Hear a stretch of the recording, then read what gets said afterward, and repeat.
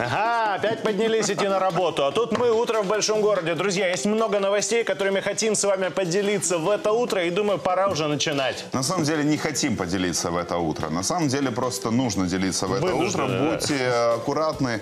Э, Несмотря на то, что лето, несмотря на то, что солнечно, все равно э, место для трагических новостей остается. Вот в Одесской области двое мужчин убили девушку. И ее, собственно, трагедия случилась несколько дней назад. Э, Тело нашли 4 июля. И через несколько дней удалось уже задержать ее убийц, сообщил начальник полиции области Георгий Ларткипанидзе. Ну, подозреваемые, ранее судимые жители Черноморска, сейчас дают показания по содеянному убийству. Будьте аккуратны, берегите себя, потому что, как видите, везде подстерегают какие-то неприятные моменты. Ну, ладно. Неприятные. Ну, хорошее, для тех, хорошее кто, для тех, кто выжил, неприятные. Для семьи погибшие трагические. Поэтому наши соболезнования действительно очень неприятный момент для... ну, я не знаю, как... ну, Поехали дальше. Да. В Хмельницком жители дома защитили лифт от воров. Вот такая новость мне нравится. Двое злоумышленников додумались срезать алюминий с дверей лифта. И за этим занятием их застали местные жители. Одного любителя металлов передали полицейским, так сказать, сразу. А вот его сообщник угодил на больничную койку. Почему? Потому что с ним хотели поговорить. Это я вам сейчас официальную версию озвучиваю. А он испугался, начал убегать и упал. Я подозреваю много-много раз. Так падал, стал, да и восстанавливаешь. Что ж ты делаешь? Да головой хоть об ступеньки не бейся. Он, нет, стыдно. Слушайте, друзья, а вы знаете, э, Немного криминала давайте еще А, добавим. Я, просто всегда пытался понять, откуда рождаются заголовки из серии «Медсестры убийцы», но вот сейчас мне, простите, своими собственными губами это все в эфире придется произнести. Да, медсестры наркодилеры, кон- лошади-контрабандисты и полицейские взяточники. Откуда все это берется в нашем следующем сюжете?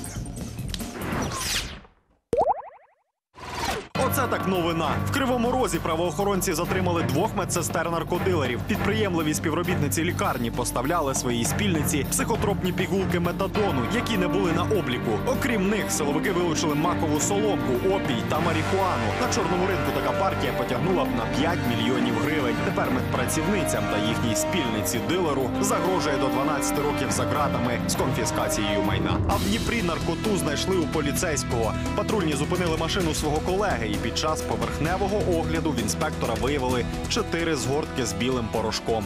Речовину передали на експертизу. Сам патрульний здав аналізи на перевірку. І це не єдина прикра новина про служителів правопорядку. Схоже, у них був дуже кепський день. Одразу кілька копів погоріли на чималих хабарах. Капітана поліції зі Слов'янська затримали при отриманні 37 тисяч гривень. Ще одного його колегу Служба безпеки України спіймала на гарячому у столиці. Він вимагав у киянина 15 тисяч доларів за закриття кримінального провадження.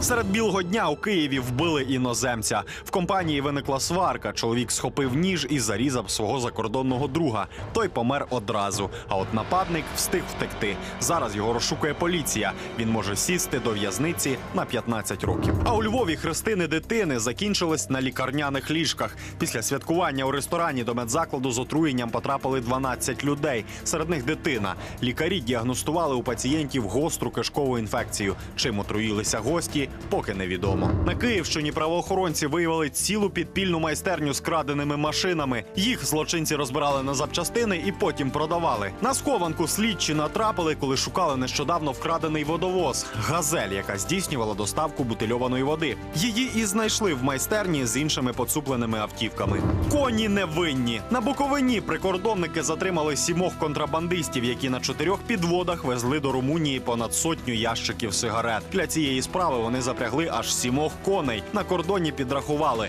Вартість незаконного вантажу сягає півмільйона гривень. Невгамовний контрабандист невдаха попався і на кордоні з Польщею. Він провозив цигарки в капоті свого автомобіля. Минулого тижня його за це вже затримували. Тепер на наполегливого порушника чекає новий штраф.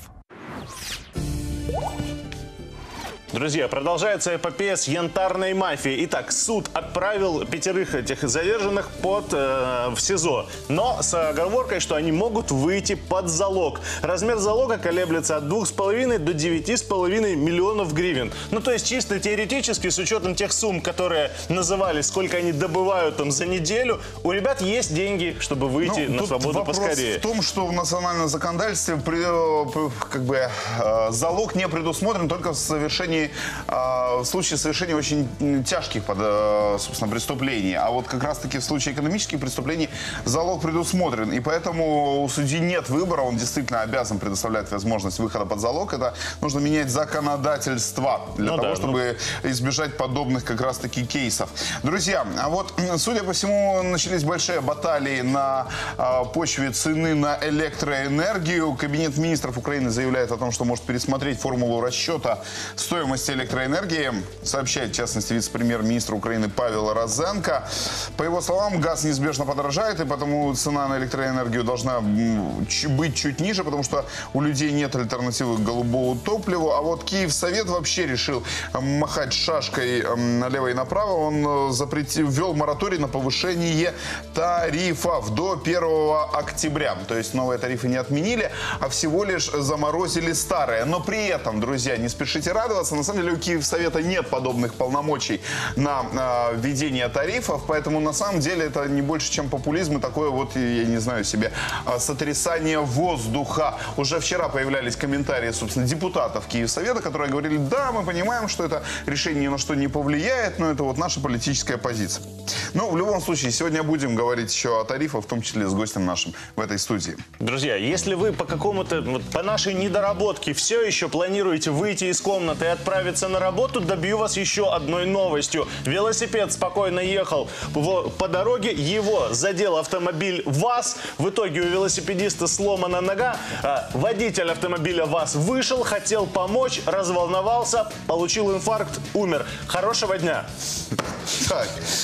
А, ну, в принципе, на этом программу можно было бы закончить, но тем не менее, еще есть ДТП во Львовской области, друзья. Там столкнулись сразу три Запирайтесь грузовика. в ванной, друзья. Да. Ну и вообще, на самом деле, если вы хотите знать, что же там на дорогах-то происходило за прошедшие сутки, то в нашем небольшом дайджесте все детали. Трагедія на Львівщині. В райцентрі Золочів легковушка влетіла в приміщення поліклініки. Троє людей, водій автомобіля Біт та двоє пасажирів загинули. Як з'ясувала поліція, за кермом був 28-річний мешканець Павлограда Дніпровської області. Його супутникам було по 16 та 17 років. Ніхто з лікарів та пацієнтів не постраждав. Зараз слідство з'ясовує обставини пригоди. За попередньою версією водій перевищив швидкість. Недарма кажуть, язик наш ворог. В Харкові поліцейський нагрубіянив водію та пасажиру авто. Він підійшов до машини і вирішив, що може говорити з людьми на ти. Більше того, патрульний почав принижувати їх. Зараз за цим фактом поліція проводить службову перевірку, а учасники інциденту записали неподобство на камеру і виклали в інтернет. А, ви взагалі хто а такой потом там уже вообще, а? Товарищ, ты кто такой вообще? Там сзади сидит. Кто ты такой, я тебя спрашиваю? Я? Да, ты кто такой? Гражданин Украины. Да? кто? А чего вы меня тыкаете? А ты где-то видел, что есть документ на родине правовой, где можно разговаривать на вы обязательно, или как я не помню? А вы обязаны на вы разговаривать? Кто такой, кто такой сказал? Кто говорит? Ну, кто говорит это? Объясни. У тому ж таки Харкові поліцейські вляпалися ще в одну історію. Вони потрапили в ДТП. За словами свідків, патрулі наздогнали ученицю автошколи.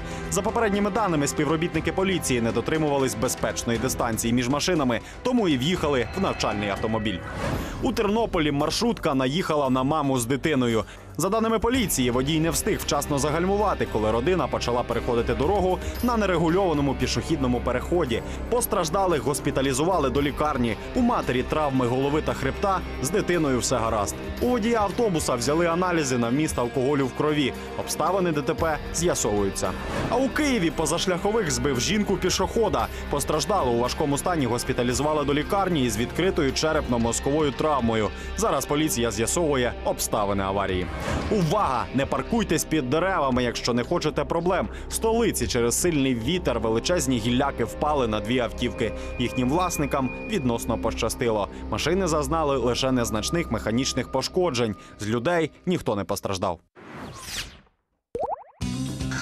Друзья, вот в продолжении темы, на самом деле, аварии и смертности на дорогах. Э, Вчера произошло важное событие, и, на мой взгляд, со знаком плюс. Э, Украинский парламент э, резко повысил штрафы за вождение в нетрезвом виде. Вот раньше была вилка 2,5-3 тысячи 400 гривен, а теперь за вождение в нетрезвом виде будут штрафовать на 10 тысяч 200 гривен.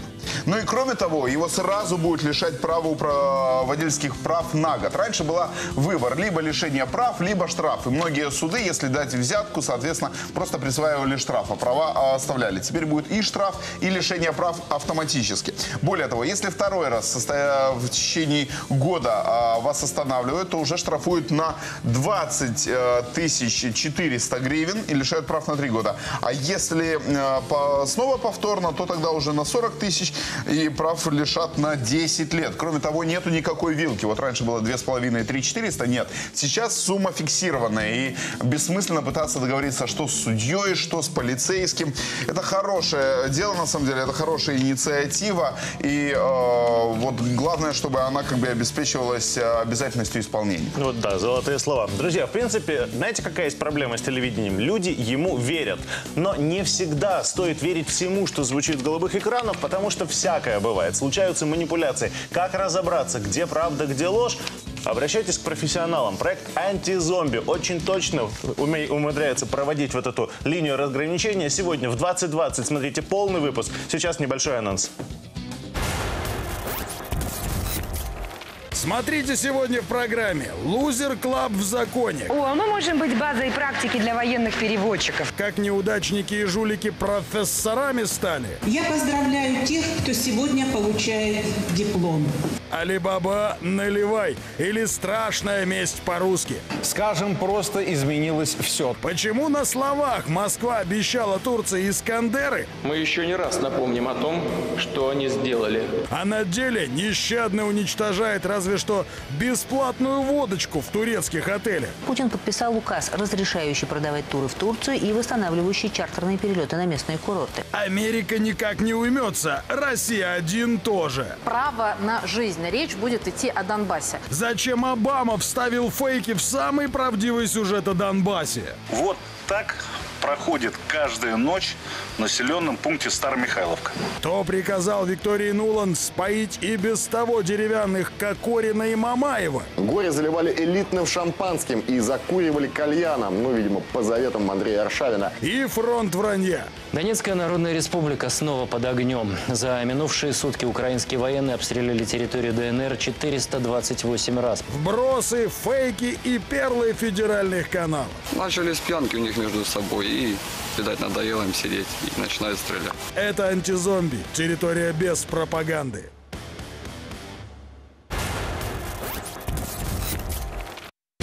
Да.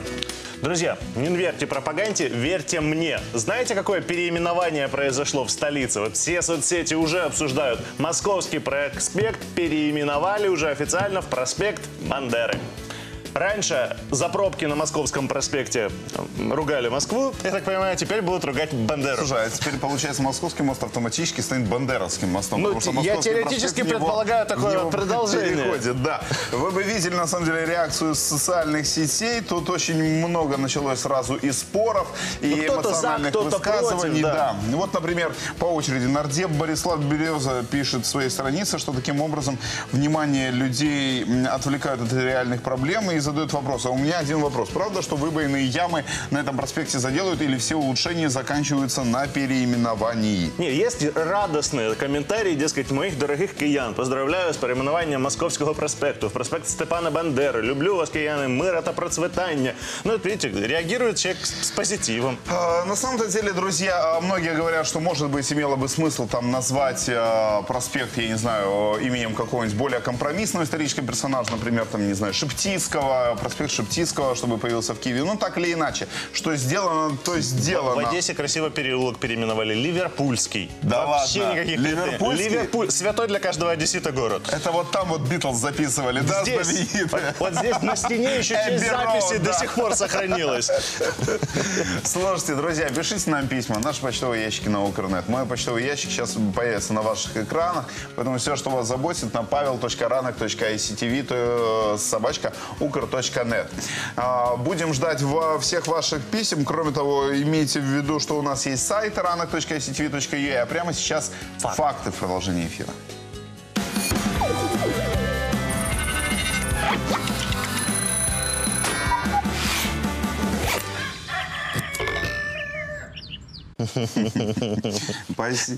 Спасибо коллегам. Ну, на самом деле не будем выкладывать все козыри. И Дашу селфи, которая реши, продолжает э, интересоваться футбольной темой, мы прибережем на чуточку позже. На есть мы- десерт. Ну, ну, не на десерт, на второе хотя бы. Так долго вам ждать Дашу не придется, друзья. А вот новость о том, что НАТО не доверяет России, э, вы получите прямо сейчас. Об этом заявил никто иной, как канцлер Германии Ангела Меркель, тщательно выбирая выражение, что из-за агрессии против Украины Североатлантический альянс утратил доверие Кремлю. Она делала это заявление накануне саммита НАТО, который сегодня стартует в Варшаве. Кстати, ожидается, что в ходе встречи будет рассмотрен а, вопрос о дальнейшем усилении альянса на своих восточных рубежах в связи с агрессией России. Да, я больше скажу, на самом деле, у Североатлантического альянса после а, аннексии Крыма и вторжения на Донбасс смысл существования появился, потому что все постсоветские годы, вплоть до 2014 года, альянс потихонечку как бы сходил на нет. Советский-то Союз, казалось бы, ушел в небытия. В 2014 бах, О, тетя. как птица Феникс. Да. Смотри, заголовок э, прекраснейший. Путин пытается убедить Обаму, чтобы тот под конец своего президентского срока слил Украину. А из чего это делают вывод? Российский президент провел телефонный разговор с главой Соединенных Штатов. Как сообщили в пресс-службе Кремля, Путин требовал особого статуса для так называемых ДНР и ЛНР, амнистию для боевиков и закон о местных выборах. Я себе представляю этот разговор, знаешь, звонит телефон, Обама берет, алло, амнистию боевикам дай. Кто это? Дай боевикам амнистию. Мужчина, вы хулиганите. Амнистию им дай, господи. Все, уговорил Обаму, все, справился. Я всегда знал, что у тебя какие-то свои источники. Антон подглядывает за этими телефонными разговорами, друзья. На самом-то деле, а, вот э, мы часто слышали от российских э, коллег про американских солдат на Донбассе и про американские танки на Донбассе. Но э, ими уже сегодня никто никого не удивишь, но тем не менее российская пропаганда продолжает придумывать небылицы. Какие именно на этот раз, э, все детали в сюжете программы «Антизомби».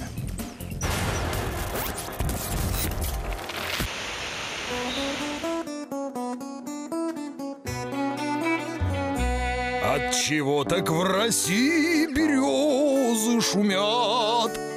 Мы, конечно, не настаиваем, но вполне возможно для того, чтобы не слышать, что за ахинею несут по российскому телевизору. США готовится эмигрировать с планеты Земля. А кремлевская пропаганда на этой неделе отжигала не по-детски, так сказать, в лучших традициях геббельсовской пропаганды. Вон Обамка-то, что удумал к концу президентского срока, Абрамсы от сердца оторвал и отправил в Украину. Переброска танков «Абрамс» на Украину. Киев готовится к войне. Естественно, как и прошлые все 843 раза, Абрамсы в Украине — это Абрамсы не в Украине. На этот раз, судя по маркировке, танчики едут по просторам Румынии. Но кого такие мелочи интересуют? И хотя новостей об обучениях с участием американских военных в этой стране просто подбубен, В Румынию прибыли военные четырех стран НАТО. Под командованием инструкторов из США румыны сегодня приступают к тренировкам. Вы верьте, на самом деле эшелон с румынским локомотивом прям под Пески идет. Там, правда, железнодорожных путей нет, но Обама сказал доставить, значит доставят, но не будут же врать эти чудесные новороссы. Переброска танков «Абрамс» на Украину. Киев готовится к войне. С другой стороны, уровень халтуры поражает. Ну вот честно, на кого это рассчитано? Могли бы уже госдеповским фотошопом воспользоваться и что-то вот такое вот залепить. Тем более, что мы-то точно знаем, умеют же чертяки, точно умеют. Вот даже на этой неделе российские телеканалы показали всем такой «Du hast mich», что вся Европа аж вспотела. Солист группы «Рамштайн» Тиль Линдеман поддерживает президента Путина. Эту новость растиражировали российские издания. Вот как Путина животворящего во всем мире любят. Закуси, да выкуси, Обамка. Рамштайн это, конечно, не так круто, как Кобзон и Кадышева, но тоже ничего так. Германии даже Ангела Меркель не может похвастаться такой популярностью, как Путин, заявил Линдеман. Мне он нравится, он жесткий лидер, а не марионетка, в отличие от многих. А пока всей России ждали авторитетного мнения Лозы по Рамштайну, новость о духовной футболочке дошла и, собственно, до самого солиста группы. И ответ не заставил себя долго ждать. Фронтмен группы объяснил, что это фотомонтаж, а сам он стал жертвой путинской пропаганды. Нет, мы, конечно, не будем утверждать, что вот это не Путин, но то, что этот вариантик в погоне за сенсацией красивенько обработали в фотошопе, это факт. Ну а в целом схема получается перспективнее некуда. Пять минут работы и можно по всем каналам разгонять. Ждите завтра Захарову на футболке у Леди Гаги и татуху с Шойгу на бедре у Саши Грей. Ну, кстати, с Сашей Грей не стал бы исключать варианты. Хм. Ты вообще никакие варианты не Она исключаешь. тоже не исключала. Ты довольно неразборчив. Друзья, а, блокировать работу парламента – это преступление, считают, собственно, депутаты-атошники. А все заявили это не просто так, а просто накануне парламент работал с перебоями. Более того, депутаты от Батькивщины и радикальной партии Олега Лешко устроили сидячую акцию протеста прямо в зале заседаний. Лешко заявил о том, что мы переходим мол, к другой форме протеста, мы не будем драться, мы объявим сидячую забастовку. А депутаты-участники АТО, причем из разных фракций, они заявили, что блокировать работу парламента, когда страна находится в состоянии войны, это преступление. И что это парализованный парламент, он в первую очередь выгоден врагу. Олег Лешко не устает пиариться, на самом деле, на собственной попытке войти в историю как защитник униженных и э, оскорбленных. Проблема в том, что он делает это, ломая будущее всей стране, я так понимаю. Друзья, и опять же, давайте поговорим про недавнее прошлое. Помните, все обсуждали Эдварда Сноудена, человека, которого Америка объявила предателем. Он э, был сотрудником спецслужб и всему миру рассказал о том, что органы безопасности США следят за гражданами практически по всему миру. За это его осудили. И знаете, где он нашел себе приют? Да, в России 21 страна отказала ему в убежище, а Россия приняла. И вот по иронии судьбы, спустя три года теперь Российская Федерация превращается именно в то, чего боялся всегда Сноуден, в реально тоталитарную страну. А, именно об этом он написал у себя в Твиттере, что вот принятие пакета Яровой, вот, антитеррористического как бы пакета, является черным днем для России. Также он добавил, цитирую, «Меня спрашивают, не боюсь ли я мести за свои высказывания? Боюсь. Но это не остановило меня, когда я боролся с Белым домом, не остановит это меня и здесь. Месть подтверждает, что ты прав. Ох, Сноуден, Сноуден. Не первый ты наивный мальчик, как бы, который думает, что тут с тобой в демократию цацкаться Скоро он окажется, окажется в, почетных, в списках почетных русофобов. А именно, кстати, русофобы, по версии российского телевидения, самая главная угроза для страны. Не кризис, не разруха в головах, не а, там какое-нибудь а, беззаконие. Нет, именно русофобы. И как вот с ними предлагают бороться, наши коллеги из проекта «Антизоми» посмотрели российские телеканалы. Готовы пересказать? Вы готовы, дети? Да, капитан! Я не слышу! Так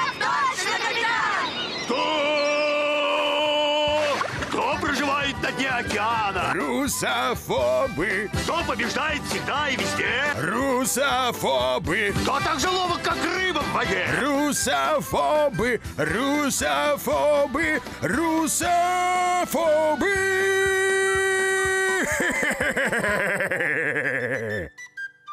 Есть подозрение, что примерно так бы выглядел один легендарный мультик, если бы его взялись рисовать в современной России. Ну, хотя бы потому, что, исходя из новостей федеральных каналов, слова «русофобия» никогда не бывает много. Поймите, русофобия есть, просто она не в этой цитате, есть... Именно в русофобии. Вот ведь как это бывает. русофобии. И каждый продолжает упражняться во все более русофобских идеях. Русофобии пропагандисты научились объяснять любые неприятности одной духовной страны. В Сирии мирных жителей кассетными бомбами убили. Русофобы клевещут. Как Запад смотрит на российские удары? Это об информационной атаке, развернутой против России. Мы уже даже привыкли к тому, что на нас нападают очень организованно из разных стран, но одновременно и с одинаковым набором обвинений. Путин из Владимира Владимировича во Владимира офшор Шоровича превратился? Да как пить дать русофобский заговор? По сути, эта публикация больше похожа на информационную атаку, заявил пресс-секретарь главы государства Дмитрий Песков. Очевидным является, что вовне градус путинофобии достиг такого уровня, что фактически говорить хорошо про Россию, про успехи и действия России нельзя. А если в соседней Украине бурятов на танках хлебом солью встречать не хотят?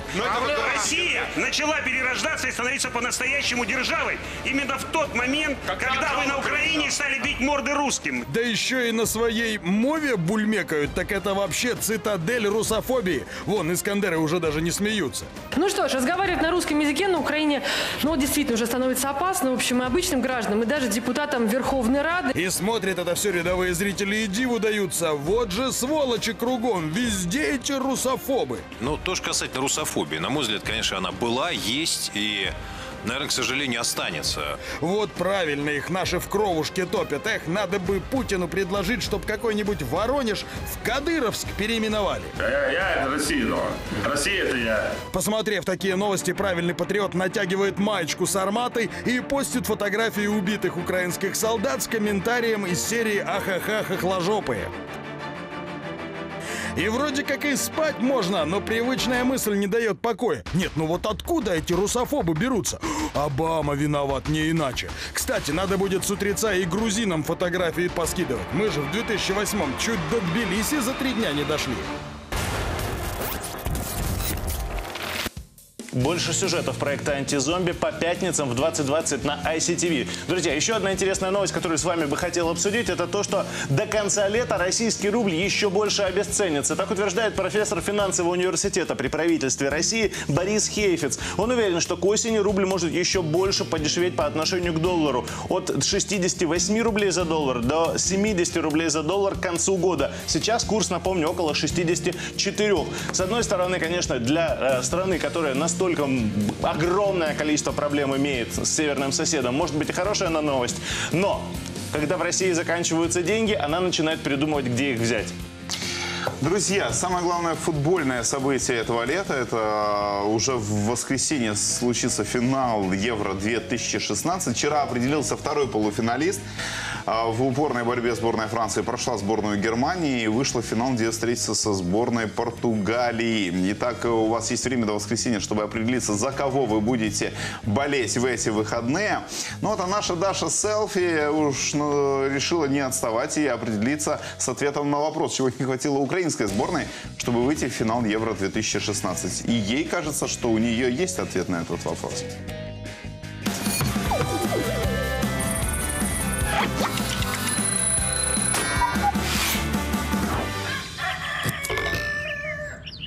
До финала Евро-2016 еще два дня. Но мне уже есть что обсудить. Пойду спрошу, как люди пережили рекордный вылет нашей сборной. Пойдем.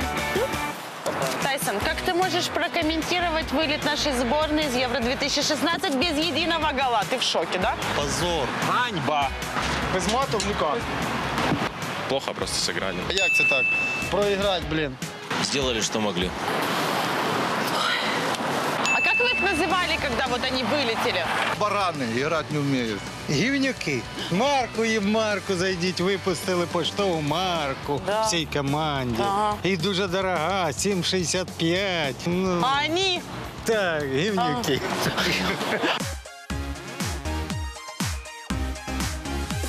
А что хорошего вы можете сказать о наших ребятах? Я думаю, що вони взагалі-то непогані люди. Просто так Симпатичні. сталося. Ну, ребята хороші. Хорошие. Думаємо, що у них ще все впереді. Да. То, что они наши. В принципе, наши ребята всегда молодцы. Они же вылетели. Да, молодые люди, я их прекрасно понимаю. Им Гулять хочется, хочется. Да, им хочется погулять. Скажите, а что бы вот сегодня пожелали хорошего украинским футболистам? Хочу е, побажати міцного здоров'я і ну, працюйте. Больше радовали болельщика у нас, показывали лучшую игру. Вот будут трудиться, будут результаты. Вот тогда мы будем за них болеть. Командного духа, успехов. Натхнение, наснаги и побед. Не сдаваться. Да, не сдаваться. Лучше подготовиться, может быть. Ну, все достаточно. До свидания. До свидания. Поддержка. Вот что важно и в спорте, и в жизни. Пусть она всегда будет с вами. И еще, не забывайте, играют они, выигрываете вы. Целую вас, мои хорошие. До встречи.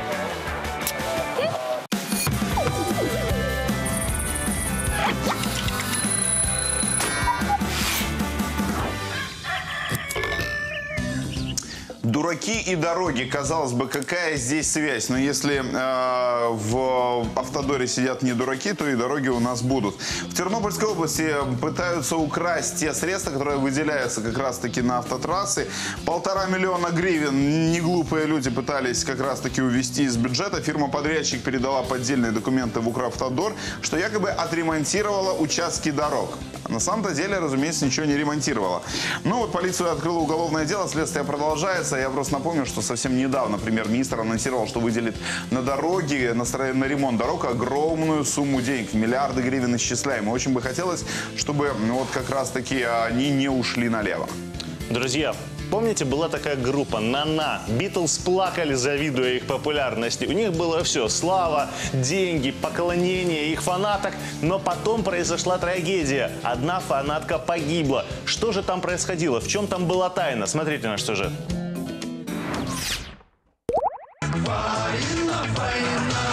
наш сюжет. Саме ця пісня стала візитівкою відомого гурту Нана, найуспішнішого гурту свого часу. Запальні нанайці зривали овації та аншлаги стадіонів всього СРСР. Сьогодні солістам гурту за 40, але як і 20 років тому, по волі продюсера Барі Алібасова, у них немає права на особисте життя. Фанатки повинні бачити своїх кумирів холостяками і знати, що у них є шанс. Мільйони шанувальниць, гірких сліз, розбитих сердець та навіть смерть фанатки. Чим поплатилися артисти за свою славу і чим живуть сьогодні? 2013 Київ. Зйомки останнього на даний момент відеокліпу Дишу та бой. Відомий продюсер Барі Алібасов, який 27 років тому керує процесом. А колишні секс-символи віддаються по повній. У гурті з'явилося два нових соліста. Та незмінними залишаються Володимир Політов і В'ячеслав Жеребкін. Саме від них мліли мільйони жінок. І незважаючи на те, що гурт існує рекордні 27 років, їх останній кліп переглянуло більше 5 мільйонів людей.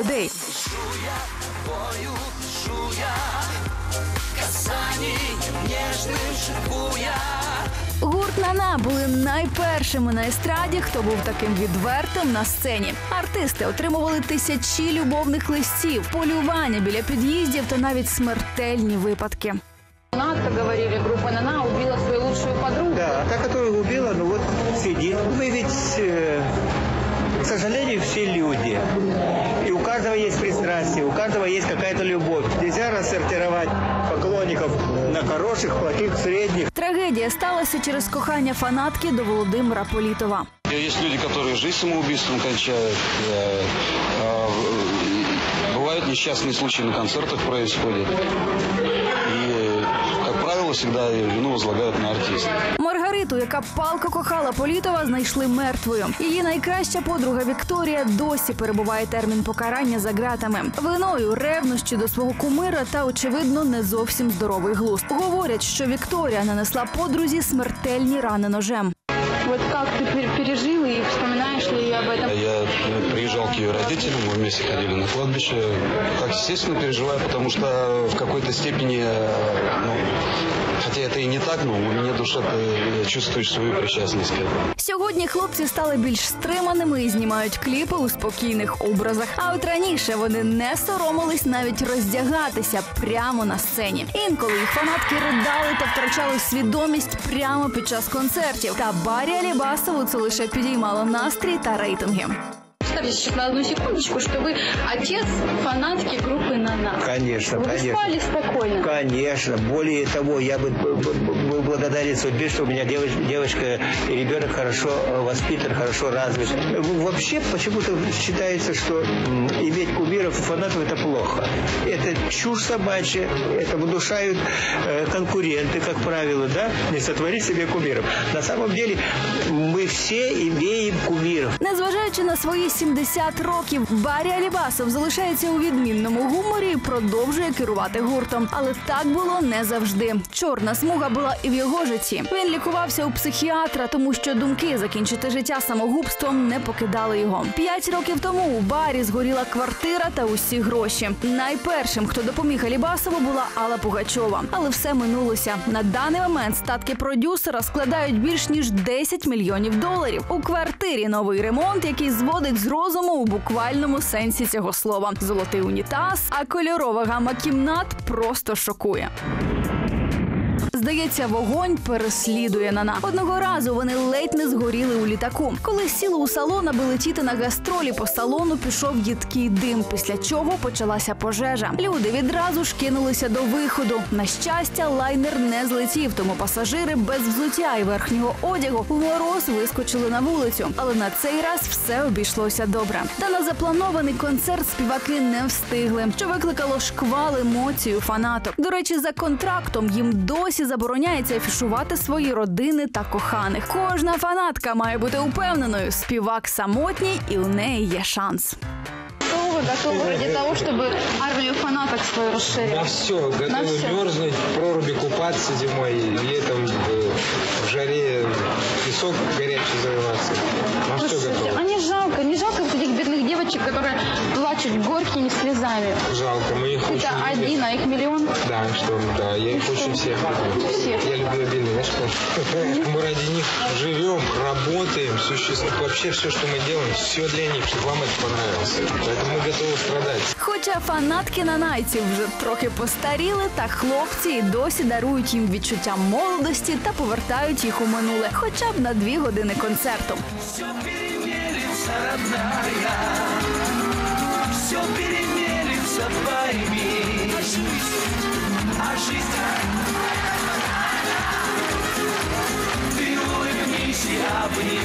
Вони ніколи не приховували, що зраджували своїм дружинам на гастролях, і це могло бути навіть декілька разів на день з різними дівчатами. Політов та Жерьобкін розведені. Дружини не витримали зрад артистів, але зі своїми дітьми артисти зустрічаються регулярно. Порожній зал страшний сон для артиста. Тому у текстах своїх пісень на найці, незважаючи ні на що, продовжують закликати дівчат повірити у яскраву казку і закохуватись у героїв на сцені.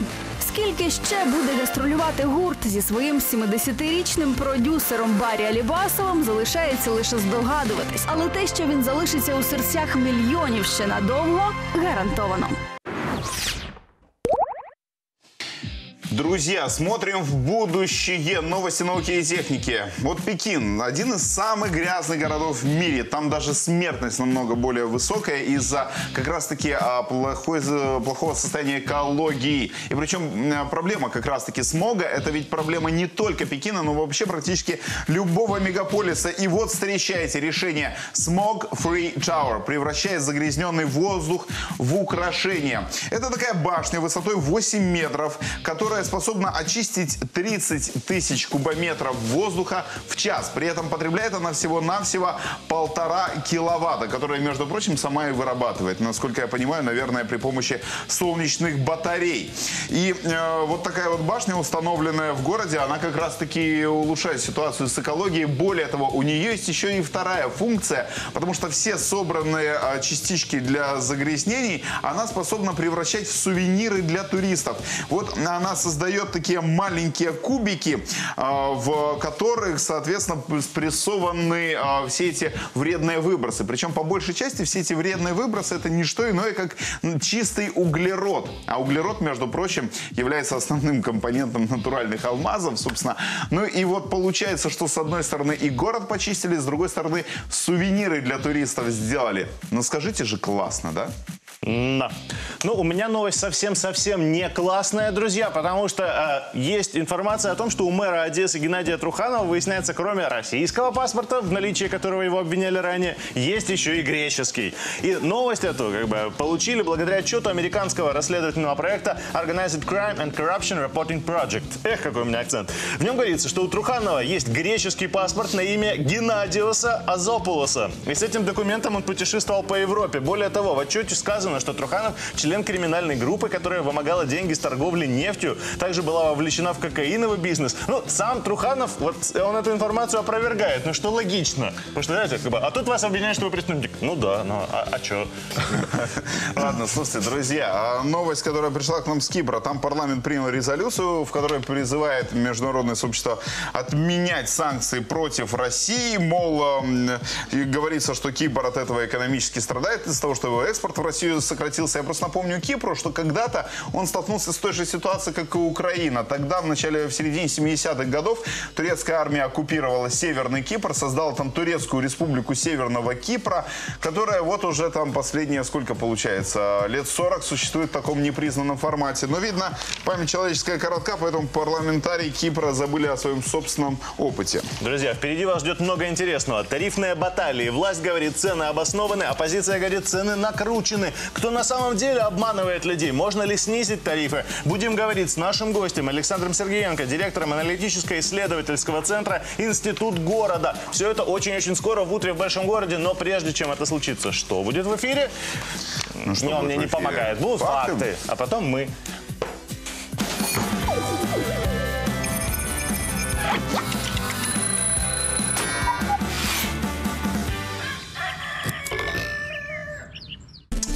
Спасибо, Настя. Спасибо, коллеги из программы «Фактов». Да, действительно, будем говорить именно о тарифах. Тем более остается одной из топовых тем в нашей стране. Последние несколько лет идет неизбежное повышение тарифов, неизбежное из-за падения курса национальной валюты, неизбежное из-за роста, особенно, собственно, себестоимости услуги. И вот э, мы решили сделать такой небольшой сюжет, проанализировать, как менялись тарифы, ну, как минимум за последние пару лет. Давайте посмотрим. Антитарифний рух набирає обертів. Цього тижня під парламентом та під Кабміном зібралися мітингувальники. Люди вимагали, щоб рівень заробітної плати був економічно обґрунтованим новим тарифом. За даними Держстату, реальна заробітна плата в Києві зменшилася на 10%, а тарифи виросли на 90%. Тільки цього року, з 1 березня, виросла ціна на світло. Наступне подорожчання електроенергії у вересні і навесні наступного року. З 1 травня підвищили і тариф на газ. Тоді ж Кабмін вирішив встановити однакову ціну на блакитне паливо, щоб виключити можливість покупки газу за низьким тарифом як для населення і перепродажу за високим тарифом як для промисловості з різницею в рази. Наше завдання сьогодні полягає в тому, щоб ми, використовуючи єдину ціну, збільшили власний видобуток газу. Це дасть можливість зробити нашу країну енергонезалежною. З 1 липня вдвічі зросла ціна на гарячу воду і опалення. А вже з наступного місяця підвищиться і холодна вода. Експерти впевнені, з підвищенням тарифів буде рости і заборгованість по оплаті. Мовляв, ще два роки тому люди сплачували квитанції і ще якось могли покривати свої борги за комуналку. Зараз цього і не слід очікувати. Оппозиция вот уже даже блокирует парламент, парализуя работу законодательного органа, утверждая, что тарифы можно безболезненно для страны снизить. А провластная, соответственно, коалиция говорит, что нет, э, на самом деле легких возможностей для этого нет. Киев-Совет вводит мораторий э, на повышение тарифов в украинской столице, который, судя по всему, действовать не будет. Так, э, на самом деле, что же с тарифами? Можно их повышать, можно их понижать? Будем спрашивать у Александра Сергеенко, директора аналитическо-исследовательского центра «Институт города». Александр Иванович, доброе утро. Доброго ранку. Ну так скажите, э, на самом деле оппозиция, которая говорит, что можно одномоментно снизить тарифы, Популізм насколько она- чистої води. Да, популизм. Популізм чистої води. І третій раз скажу. І під парламентом, і Верхов... і в Київраді це популізм, тому що нічого е... раціонального вони не пропонують. Вони кажуть, от не підвищуйте або знизьте і все. Але тут зав'язано дуже багато механізмів. Це вартість газу, е, при- монопольне становище комунальних підприємств. і це доходи населення також. А как бы выглядело рациональное предложение по газу, рациональная дискуссия по поводу тарифов? Как бы она выглядела? А, Ну, от дійсно, в корінь зла в вартості газу. Е, Про вимоги МВФ е, це теж певний міф, тому що насправді в коаліційній угоді парламентських партій написано, що треба ліквідувати перехресне субсидіювання. Що це таке? Це коли для бізнесу підприємства така ціна газу, для населення така. Зрозуміло, що облгази, спритні ділки, вони кажуть, ми купляємо газ для населення ось по цій ціні, а насправді продають його для бізнесу. Ну, Ну, і це поэтому- схема Курченка, до речі. Согласен. Курченко так само Ну вот как робив. раз таки г- считалось, что уравнивание тарифов для населения и для бизнеса, оно устранит эту схему, потому что получается, что облгаз не сможет покупать там дешевый э, газ, который там по тарифам для населения, Правильно. и перепродавать бизнесу. А, м, так и э, получается, что в этом смысле уравнивание тарифов это скорее благо. Ви розумієте, ви, ви ж показали як уравнювання, ви так показали. А уравнювання можна зробити і отак, а можна зробити отак.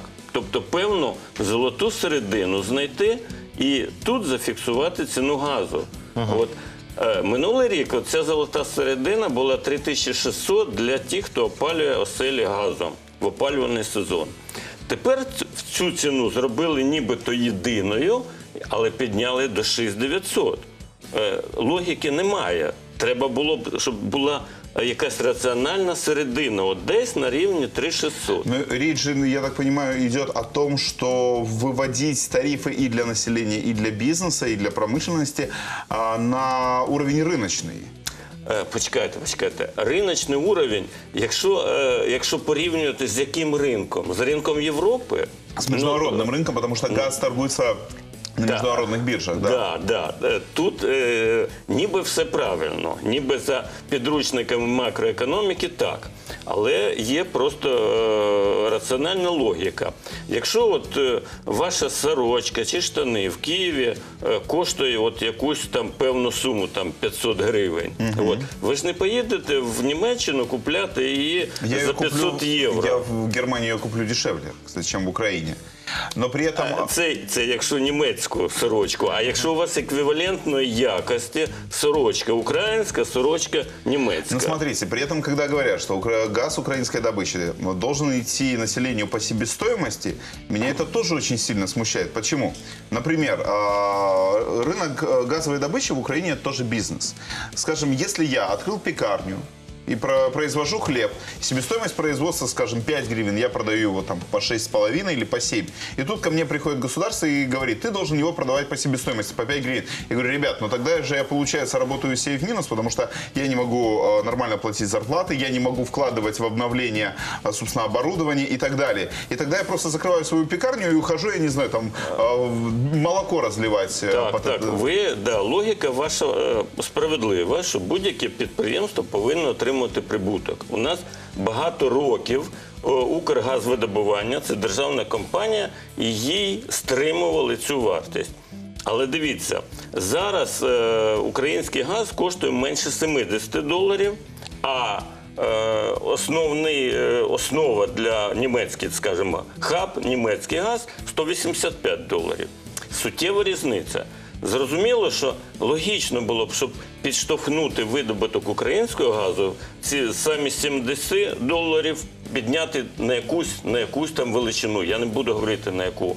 Але 185 доларів це явно непідйомна ціна для населення України. От тут вступає е, інша складова, що е, тариф він раціональний тоді, коли населення зможе його купляти. Якщо населення не може купляти цей товар, то навіщо його виробляти? Його ніхто не буде виробляти. От в чому проблема.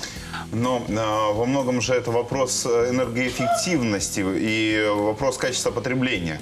А, э, есть возможность экономить не только на низких тарифах, но и, например, за счет, не знаю, установки счетчиков, за счет того, чтобы не протапливать батареи до плюс 30 зимой, когда мы открываем окна для того, чтобы проветрить квартиру и так далее. Может быть, просто нужно а, приучать людей к другой модели энергопотребления, там, не знаю, закрывать 100%. краны, не полить газ в холостую. 100% з вами згоден, що треба дійсно привчати людей до енергоефективності.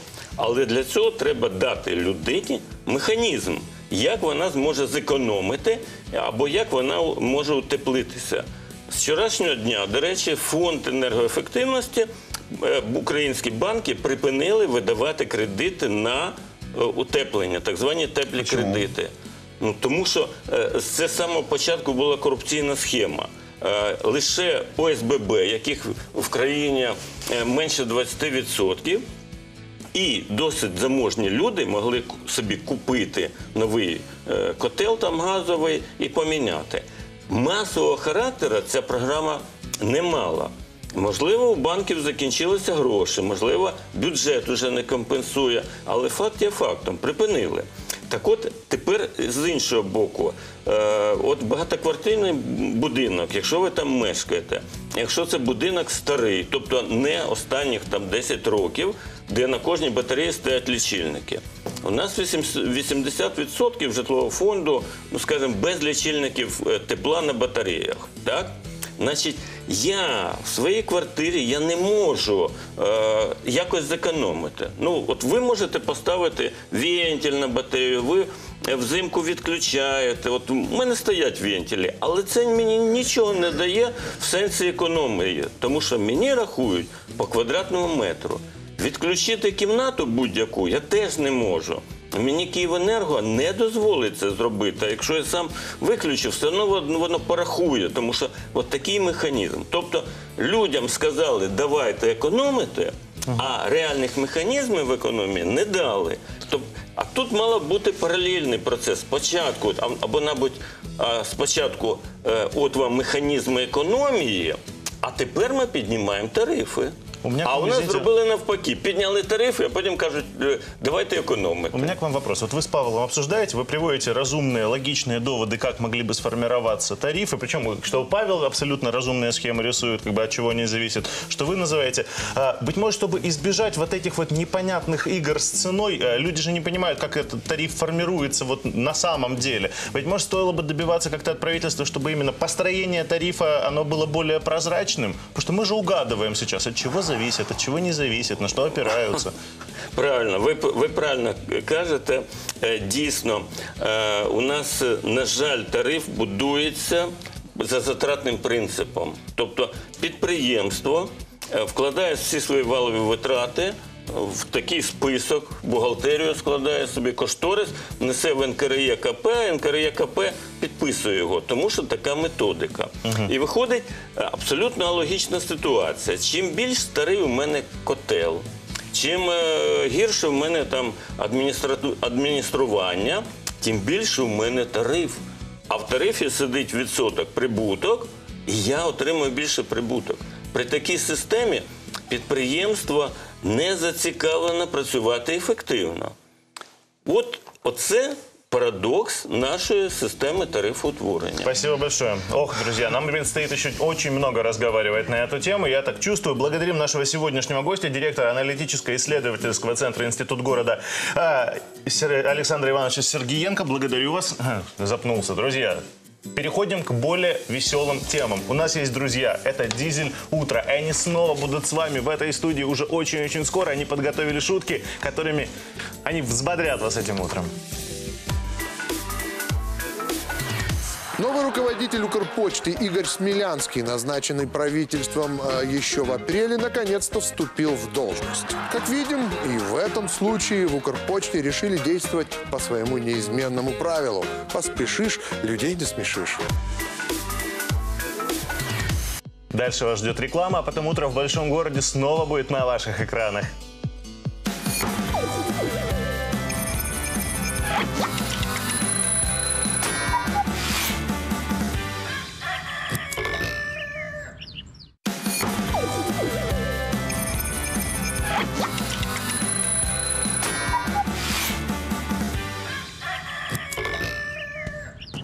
Друзья, это «Утро в большом городе». Нескафе Classic. Тщательный отбор бразильских кофейных ягод. А Дизель-шоу – это тщательный отбор шуток. У них даже есть шутка о том, как лишали неприкосновенности нардепа Александра Онищенко. Ладно, хватит вас дразнить. Все, вот уже Дизель-шоу на ваших экранах.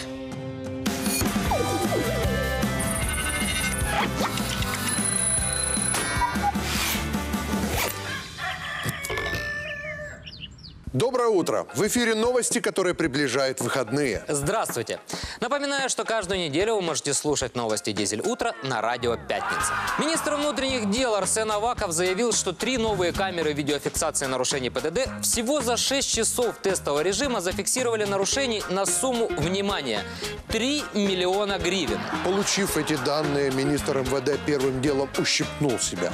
А когда окончательно понял, что это не сон, распорядился обезопасить подходы к столбам с камерами и начинать строить под министерством хранилище для денег. Эксперты считают, что если никто не сглазит Арсена Борисовича и его систему видеофиксации, то уже через год мы перестанем брать кредиты у МВФ. И будем брать их у МВД. Однако появление камер на дорогах расстроило не всех водителей. Прокуроры, судьи и депутаты как ездили, так и продолжают ездить, не обращая внимания на камеры.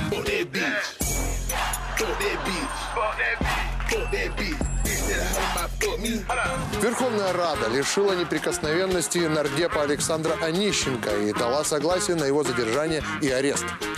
Однако само голосование сильно затянулось. Депутаты почему-то решили голосовать по каждому пункту отдельно.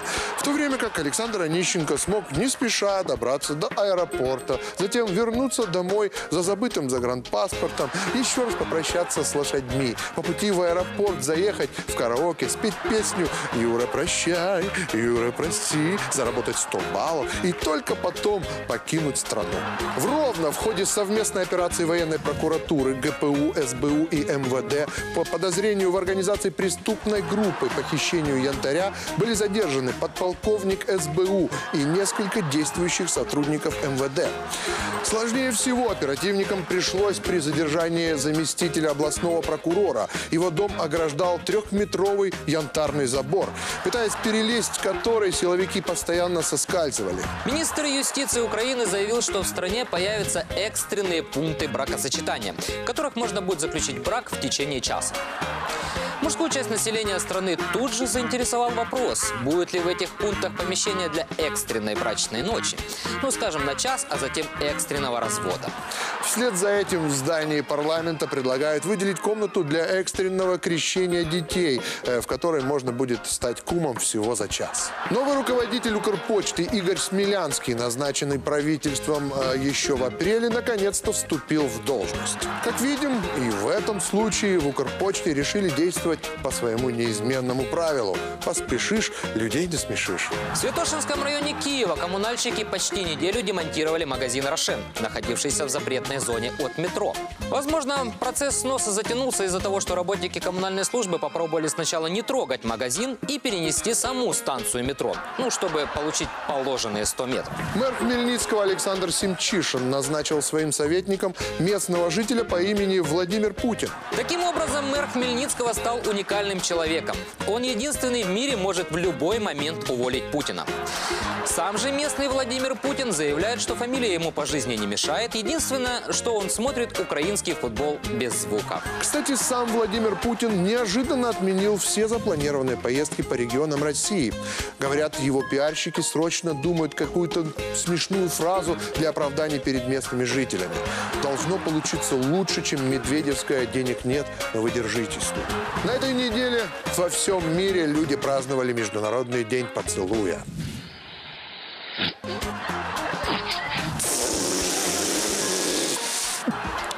Я тоже перед тем, как с девушкой первый раз поцеловаться, с пылесосом тренировался. А Больше смешного об этом дне вы узнаете из нашей следующей рубрики «Фотоотчет за неделю». Смотрим. Реально? Доброе утро! В день поцелуя делают это абсолютно все. Правда, не всем это нравится. Я вам скажу, некоторые просто не умеют. Поэтому учиться целоваться нужно начинать с самого детства.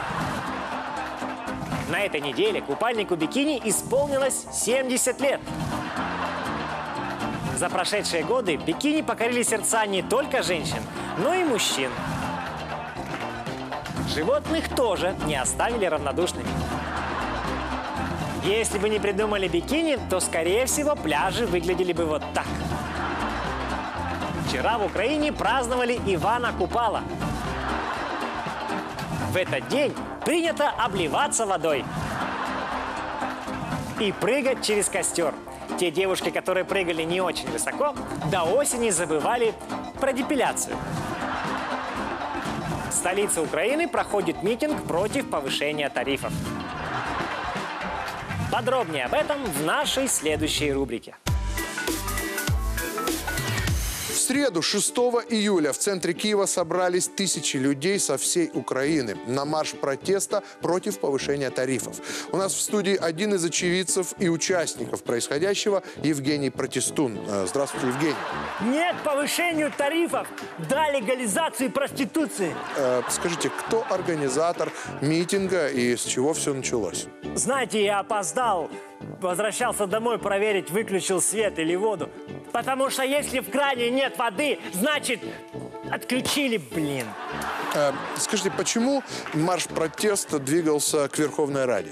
Верховная Рада, рай для казнокрада. Мгм, Понятно. А что будет, если депутаты все-таки выйдут к народу? Тарифы ЖКХ доведут нас до греха. Скажите, по каким критериям отбирали э, в митингующие? А, ну, нужно было придумать рифму на газ. Ну и какую вы придумали? Кто поднял цену на газ, тот настоящий пи***ас. Грубый довольно-таки э, лозунг, но все-таки справедливый. Э, Скажите, а про свет э, есть у вас какая-то речевка? Конечно. Кто поднял электричество в цене, тот пидорас вдвойне. Прекрасная рифма. Но все-таки повышение цен на отопление мы ощутим только в октябре.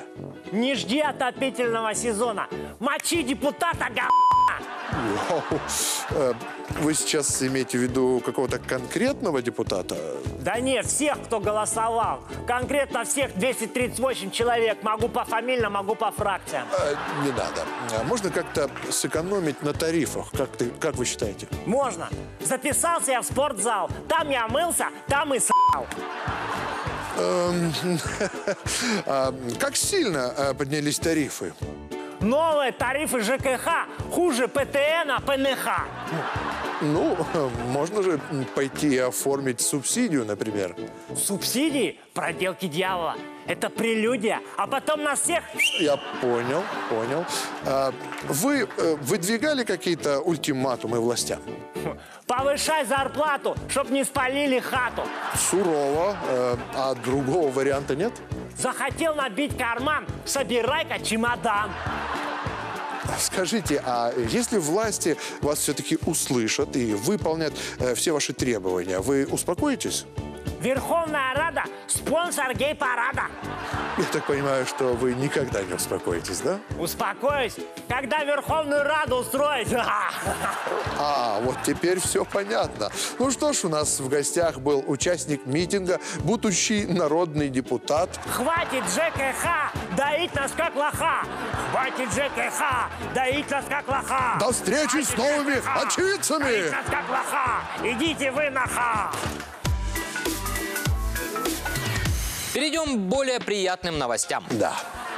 Власти Швеции приняли закон, разрешающий женщинам находиться в общественном месте топлес. Теперь замечание девушки без верхней части купальника будет считаться дискриминацией. Знаешь, а я вот уже даже представил себе, если бы в нашей стране власти приняли такой закон. Идешь по улице, а там тебе навстречу одна такая с пышной грудью. Ты поворачиваешь э, голову, а там еще одна. Ты заходишь в метро, а там час пик. Э, э, Целый вагон таких же, и все к тебе прислоняются, сдавливают тебя. Я бы тогда машину вообще продал и снова ходил пешком и ездил в метро. У нас другой закон приняли. Повышение тарифов. Скоро точно придется продать машину, ходить пешком и, может быть, хватит на метро. Мгм. А девушки начнут экономить на одежде и просто начнут ходить по улице топлес. Я боюсь, что первыми выйдут пенсионерки. Саша, ты сейчас... Ты такую мечту сейчас испортил, такую картинку наломал. В Дубае экстремалы создали устройство, напоминающее большую рогатку. С его помощью можно запускать людей в воздух со скоростью 200 километров в час. Я считаю, давно пора строить такую же рогатку у нас в центре Киева, прямо возле Верховной Рады. Чтобы политики, если что-то не так сделали, то Не, не просто уходили в отставку, а как-то эффектно уходили в отставку. Я прийняв рішення скласти повноваження прем'єр-міністра України.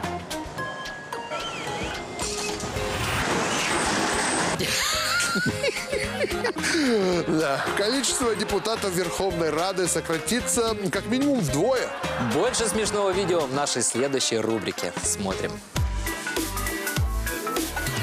Премьере фильма «Легенда о Тарзане» посвящается наша сегодняшняя рубрика «Легенда о Тарзанке».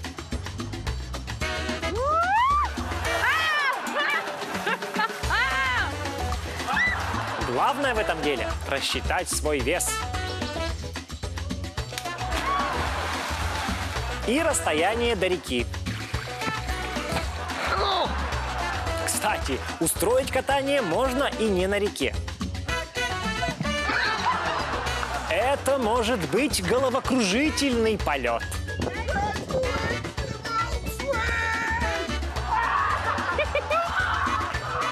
И все же, где бы вы ни катались, не забывайте о технике безопасности.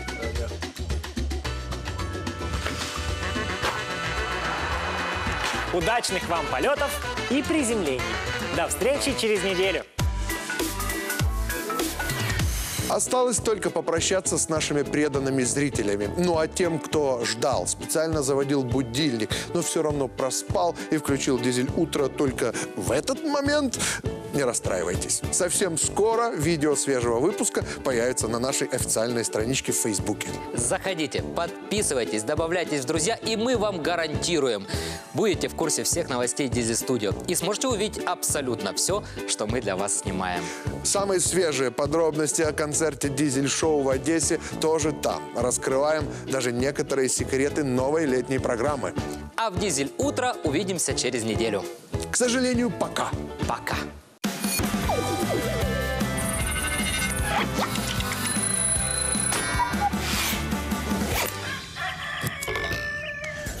Друзья, Хмельницкий этим утром удивил, приятно удивил. Там двое э, злоумышленников э, решили срезать алюминий с дверей лифта. Ну и за этим занятием их застали местные жители и передали, соответственно, полицейским. Одного сразу, а второго в скорую. Э, с ним, собственно, местные жители решили поговорить. Он, соответственно, пытался сбежать, упал и получил травмы, как записано, соответственно, в протоколе освидетельствования. Вот такой, и такой. Ладно, теперь серьезная криминальная новость, друзья. Медсестры-наркодилеры, двое полицейских, попавшиеся на взятках, а лошади-контрабандисты. Подробности в следующем сюжете. Оце так новина. В Кривому Розі правоохоронці затримали двох медсестер-наркодилерів. Підприємливі співробітниці лікарні поставляли своїй спільниці психотропні пігулки метадону, які не були на обліку. Окрім них, силовики вилучили макову соломку, опій та марихуану. На чорному ринку така партія потягнула б на 5 мільйонів гривень. Тепер медпрацівницям та їхній спільниці дилеру загрожує до 12 років за ґратами з конфіскацією майна. А в Дніпрі наркоту знайшли у поліцейського. Патрульні зупинили машину свого колеги, і під час поверхневого огляду в інспектора виявили чотири згортки з білим порошком.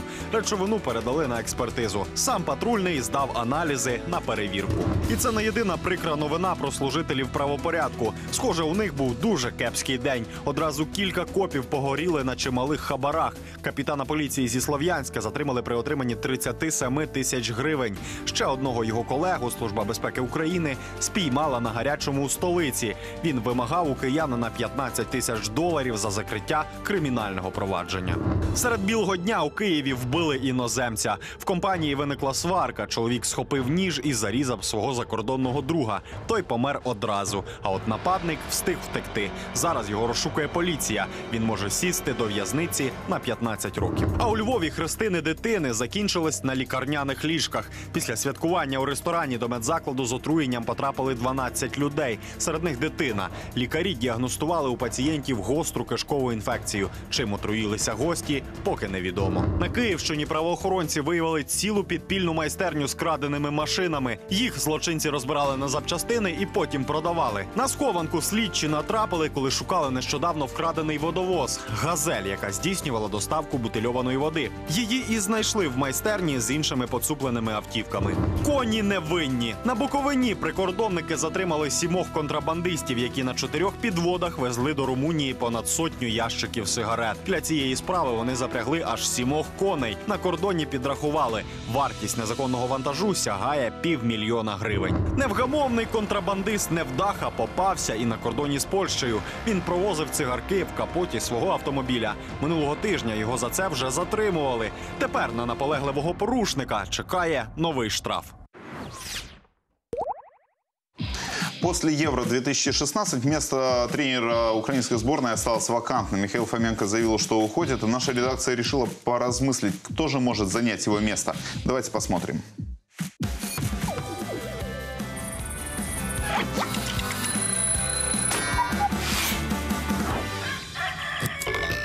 Головний тренер збірної України з футболу Михайло Фоменко заявив, що йде з посади. Після такої ганьби на Євро 2016 воно й не дивно. Тому сьогодні ми вирішили подумати над тим, хто міг би стати біля керма збірної замість Фоменка. Це топ 5 кандидатів на пост тренера національної команди з футболу від Паріматч. І відкриває наш рейтинг кандидат, про якого найбільше говорять як про майбутнього наставника збірної. Легендарний Андрій Шевченко не так давно отримав тренерську ліцензію, але хороший гравець зовсім не означає хороший тренер. Тому, якщо шеву і призначать, дуже важко спрогнозувати результат цього експерименту, адже у Андрія фактично немає досвіду. Четверта сходинка рейтингу ймовірних тренерів збірної Олександр Головко.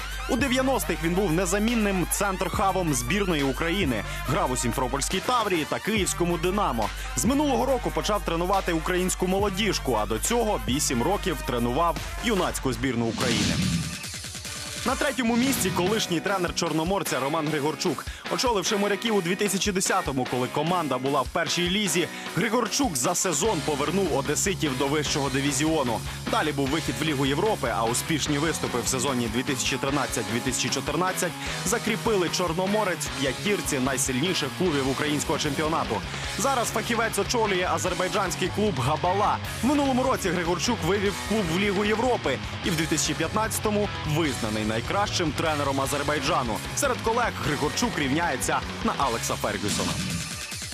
На другому місці рейтингу Юрій Вернедуб з 2012-го головний тренер Луганської зорі. Тоді зоря перебувала за крок до виліту з елітного дивізіону. Але Вернедуб зберіг прописку в прем'єр-лізі. Ба більше зоря заграла стабільніше, вийшла в Лігу Європи, а минулий сезон завершила на четвертому місці чемпіонату України.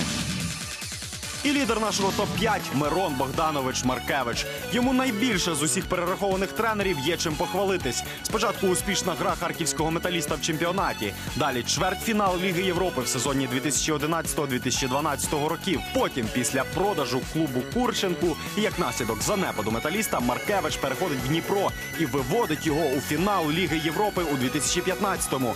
Маркевич встиг і покерувати збірною в 2010-му, суміщаючи посаду з тренерством металіста. За сім місяців національна команда під керівництвом Мирона Богдановича зіграла чотири поєдинки. Тричі виграла, один раз зіграла в нічию.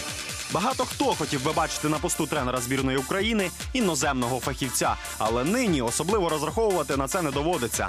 Попереду відбір до чемпіонату світу, і Україна чекає нових перемог з новим тренером. Адже українці скучили за яскравою грою своїх, а відтак змушені спостерігати за яскравою грою чужих. Але незалежно від того, хто на полі, пам'ятайте, що грають вони, виграєте ви.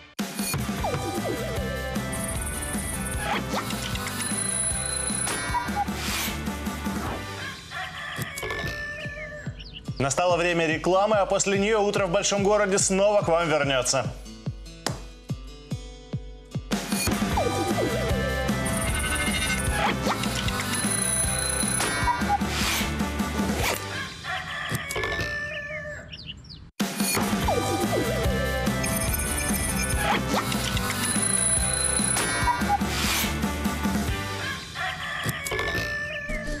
Доброе утро, друзья. Снова утро в большом городе на ваших экранах. Помните, как совсем еще недавно во всех проблемах Украины была, э, России была виновата украинская хунта. Так вот, судя по всему, темники изменились. Наши коллеги из проекта «Антизомби» посмотрели российские телеканалы и готовы сделать выводы. Поймите, русофобия есть, просто она не в этой цитате есть. Именно в русофобии. Вот ведь как это бывает. русофобии. И каждый пора- продолжают упражняться во все более русофобских идеях. Русофобии пропагандисты научились объяснять любые неприятности одной духовной страны. В Сирии мирных жителей кассетными бомбами убили. Русофобы клевещут. Как Запад смотрит на российские удары? Это об информационной атаке, развернутой против России. Мы уже даже привыкли к тому, что на нас нападают очень организованно из разных стран, но одновременно и с одинаковым набором обвинений. Путин из Владимира Владимировича во Владимира Офшоровича превратился? Да как пить дать русофобский заговор? По сути, эта публикация больше похожа на информационную атаку, заявил пресс-секретарь главы государства Дмитрий Песков. Очевидным является, что вовне градус путинофобии достиг такого уровня, что фактически говорить хорошо про Россию, про успехи и действия России нельзя. А если в соседней Украине бурятов на танках хлебом солью встречать не хотят? Но Россия начала перерождаться и становиться по-настоящему державой именно в тот момент, когда вы на Украине стали бить морды русским. Да еще и на своей мове бульмекают, так это вообще цитадель русофобии. Вон, Искандеры уже даже не смеются. Ну что ж, разговаривать на русском языке на Украине, ну, действительно уже становится опасно. В общем, и обычным гражданам, и даже депутатам Верховной Рады. И смотрят это все рядовые зрители и диву даются. Вот же сволочи кругом, везде эти русофобы. Ну, то, что касательно русофобии, на мой взгляд, конечно, она была, есть и, наверное, к сожалению, останется. Вот правильно их наши в кровушке топят. Эх, надо бы Путину предложить, чтобы какой-нибудь Воронеж в Кадыровск переименовали. Я, я это Россия, но Россия это я. Посмотрев такие новости, правильный патриот натягивает маечку с арматой и постит фотографии убитых украинских солдат с комментарием из серии «Ахаха, хохложопые». И вроде как и спать можно, но привычная мысль не дает покоя. Нет, ну вот откуда эти русофобы берутся? Обама виноват, не иначе. Что нам дала э, в интересах российских жителей ваша пропаганда? Наши жители спрашивают, каким каналом нам обратиться, чтобы рассказали о наших проблемах. И я знаю это и вижу это каждый день. И вот тут-то оказывается, что русофобия, она действительно есть, но только внутри самой России. В стране с подачей «мы сверхдержава» люди живут без элементарных удобств. Медведев не соврал, денег действительно нет, но нет их только для народа. Вот вам простые цифры. На промывку мозгов проклятым гейропейцам Москва ежегодно тратит космические суммы. Кремль ежегодно тратит 1 миллиард 400 миллионов долларов на пропаганду. Свою точку зрения на происходящее в мире Москва излагает на 30 языках в 130 странах. За такие деньги можно было бы поднять не то что деревни, но и целые города. А по факту люди годами остаются нет не у разбитого корыта, а у старого телевизора с вывеской «Россия встает с колен». Грузию утопили в крови. Крым отжали. Украинцев убивают на войне. Англичан без войны. И вот же незадача, почему же это путинскую Россию нигде не любят? Хотя, наверное, это опять русофобы клевещут. Есть вещи, которые, извините, оспаривать нельзя. И когда от Москвы до самых до окраин придет осознание того, что если русских и не любят, то не любят вовсе не за язык, а за их поступки, тогда не только в России, но и во всем мире многое изменится.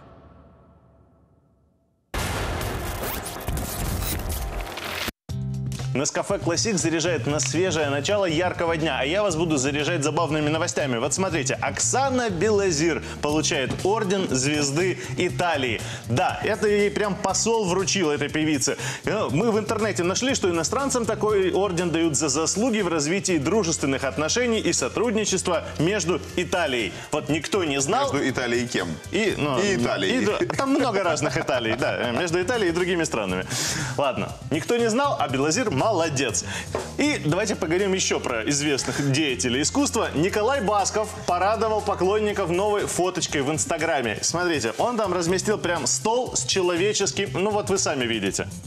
А, Во-первых, у меня вопрос тебе, Антон, почему ты подписан на Инстаграм Баскова? Э, я по хэштегу прошел. Да ладно, не оправдывайся. Это не Твоя оправдание. репутация испорчена окончательно. В общем, несмотря на то, что последние несколько лет он активно показывает, что, дескать, я в отношениях э, Софья Калч- Кальчева, я не знаю, кто это, но он с ней в отношениях. Но, тем не менее, э, нет-нет, да и выставит других девушек, так сказать. Вот такой вот шведский стол. Ну, тоже вариант, почему Слушайте, нет? давайте лучше про голливудских звезд говорить, если уж на то пошло. 10 тысяч долларов, говорят, столько Риhanna тратит на один маникюр. Если вы думаете, что это предел голливудских трат, то вы ошибаетесь. Все подробности в следующем сюжете. Ріана, ця барбадоська краля заробляє величезні суми своїм співом, тому може дозволити собі усе. І таки дозволяє тіло за мільйон доларів на рік та вечірки з найдорожчим шампанським та стриптизерками. Зараз ми розкажемо, як витрачає свої статки співачка Ріана.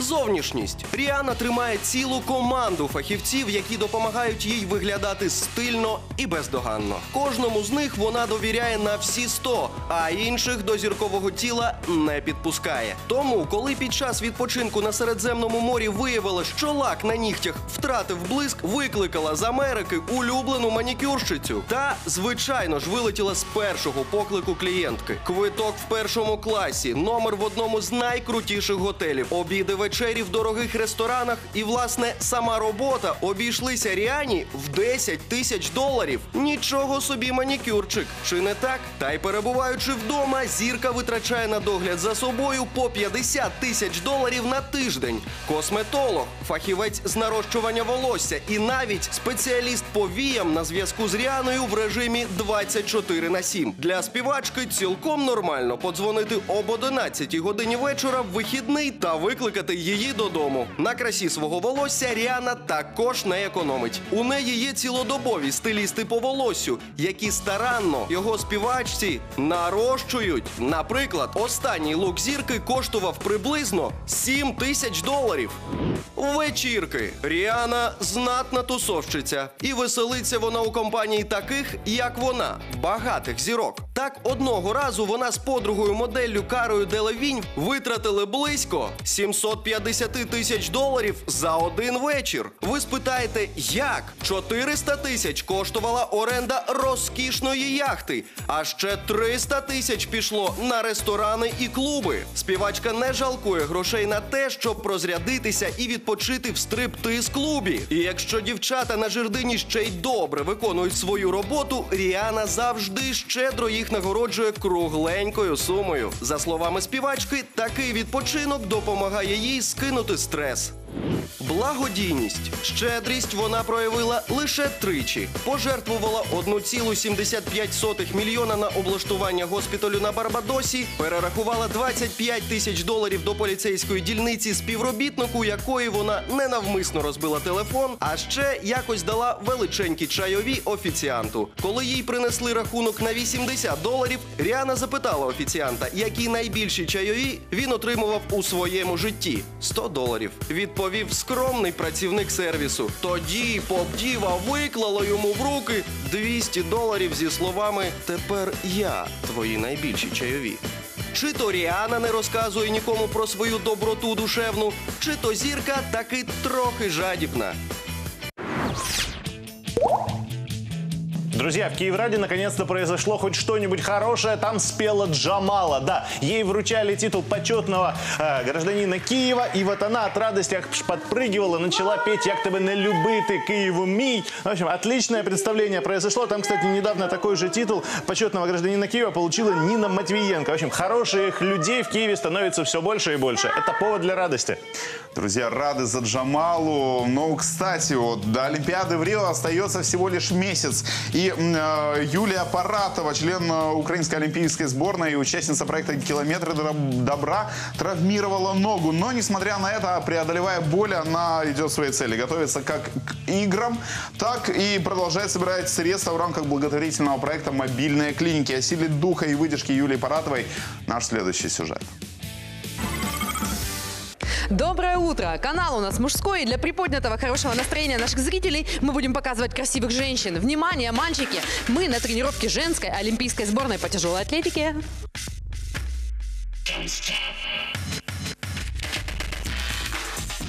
Наконец-то мы попали к Юле на тренировку. Я только что переступила штангу. Каюсь. Юль, почему штангу нельзя переступать? Я же не знала. Существуют такие правила. Это не переступать снаряд. Потому что будешь неуважительно к снаряду относиться, он тебе и по голове будет бить. Чего еще нельзя делать и почему? В основном девчонки говорят, там, ну, не стричься, там, потому что силу обрезаешь. Ты я как бы не суеверна, но бывают такие моменты, что там я подошла к штанге, там вытерлась сначала полотенечком, подошла и подняла, а тут не вытерлась и не подняла. Так, надо, значит, третий ход Вот опять. Юль, как успехи э, в тренировках и как успехи по сборам средств для наших мобильных клиник? Раз в три дня захожу, ну, смотрю, о, чуть-чуть капнуло, чуть-чуть капнуло, уже приятно. Потому что у нас сейчас много вот этих вот интернет-аферистов, и приостерегаются, все перезванивают и говорят, а правда ли это? Но я думаю, что до Олимпийских игр мы все равно совместными усилиями с друзьями своими, ну, как- как-нибудь дожмем эту сумму. Почему женскую сборную тре- тренируют мужчины? В свое время я был как бы даже противником женской тяжелой атлетики, когда она начиналась. И, но я глубоко ошибался в этом. Я все время говорил, что не женское это дело, не женское это дело. Я считаю, для баланса э, мужскую сборную должна тренировать женщина. Э, ну, я так не скажу, я скажу по-другому. Э, хоть в мужской, хоть в женской сборной должны тренировать специалисты. Это в первую очередь. Женщины не более выносливы, чем мужчины? Э, Скажите «да». Нет, а а скажу, скажу по-другому. Они более ответственны. Мужчина может сказать, что у него где-то что-то заболело, и он может сделать завтра.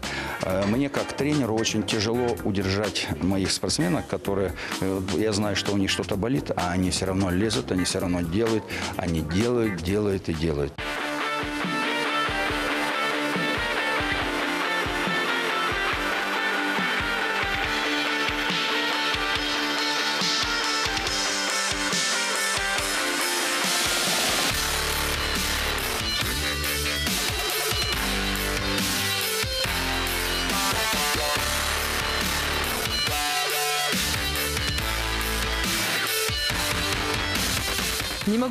Заметить, я хоть и женского пола, но тем не менее, ваша попа стала еще аппетитней.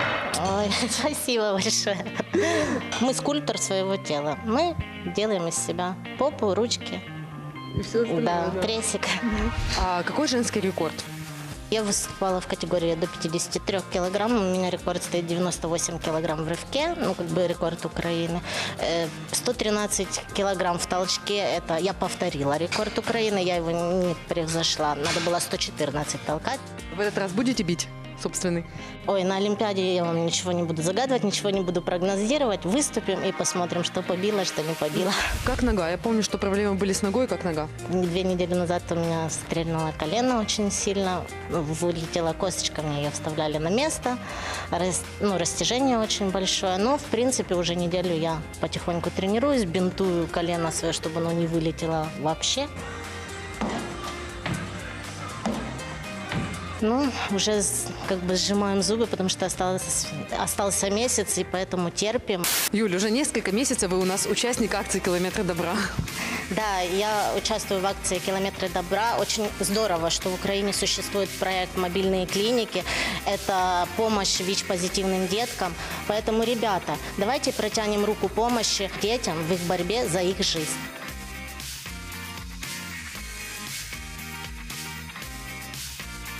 Привет всем! Я Паратова Юлия, заслуженный мастер спорта по тяжелой атлетике. Поддержите мое участие в проекте «Километры добра».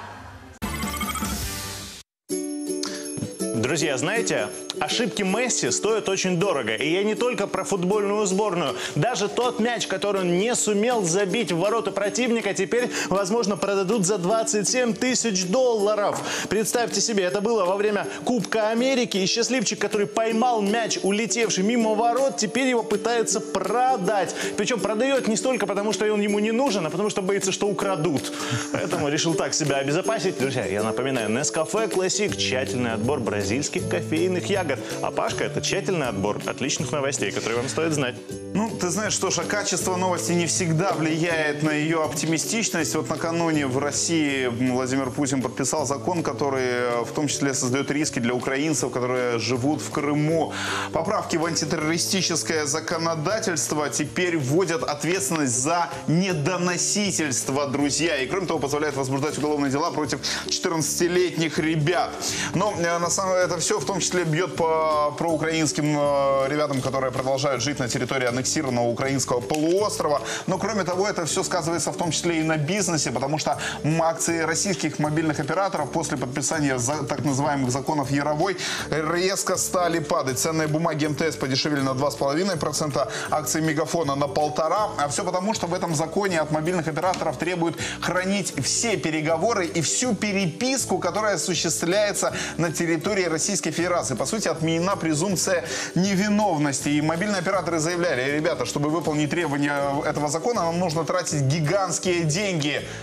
Ну, в общем, э, вы знаете, следим за тем, Голубиная что почта происходит. снова да. придет всем на помощь, друзья. Отправляешь и веришь в хорошее. Еще активно обсуждают в соцсетях исчезновение Путина. Нет, ну, конечно, надеяться особо не стоит. Он уже и раньше так исчезал в никуда не объясняя причин. Но вот сейчас обсуждается, что отменено целый ряд визитов, отменены встречи. И вот шутят, что что ж там происходит, как бы, куда же делся, как бы, все ищут Путина. Есть даже версия, что, возможно, опять испортился ботокс, либо сразу привезли не свежий, приходится переправлять. Ну, так или иначе. Ну, на самом деле были уже подобные кейсы, когда российский Ну да, президент раз. исчезал из э, сферы публичного присутствия где-то на неделю, на 10 дней. Вот. И точно так же всякие конспирологические версии появлялись. А вот в Ялте, друзья, появился памятник отключению электроэнергии в сквере Калинина в э, украинской Ялте. Так называемые власти полуострова официально открыли арт-объект. Две лампочки, которые подсвечиваются в темное время суток. Инсталляцию назвали символом отключения света в Крыму, которые начались в ноябре прошлого года и продлились около пяти месяцев, друзья. Ну ладно, э, что вам нужно знать еще сегодня, так это то, Погода. что по данным Синоптик.ua, друзья, сейчас, например, в Киеве плюс 15, днем до плюс 22, вроде бы без осадков, на что очень надеемся. Погоду в своих городах узнавайте и хорошего вам дня и выходных. Счастливо.